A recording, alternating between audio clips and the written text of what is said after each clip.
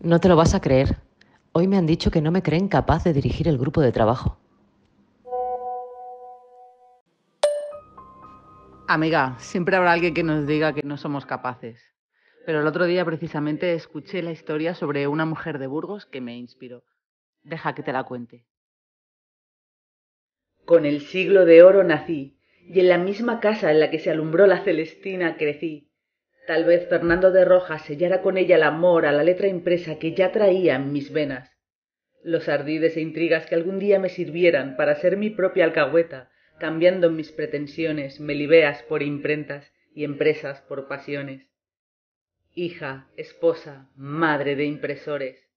En Castilla fuimos los mejores. Fadrique de Basilea era nuestra firma y con ella dejamos profunda huella en la santa letra escrita. Al morir mi padre un doble reto tuve que enfrentar. Seguir el camino que él en su día iniciara, esquivando el destino que mi condición de mujer me marcaba. Para ejercer mi profesión la ley había que cumplir, y cuando quería imprimir el favor de un varón debía conseguir, aunque el negocio era de ellos, para poder decidir, dejaba su nombre en el sello y el mío en el pedigrí. Doblemente viuda, primero de un oficial y después del florentino, al que me unieron más negocios que amoríos. Hoy la historia me guarda el hueco que me arrebató mi época, ya difunta.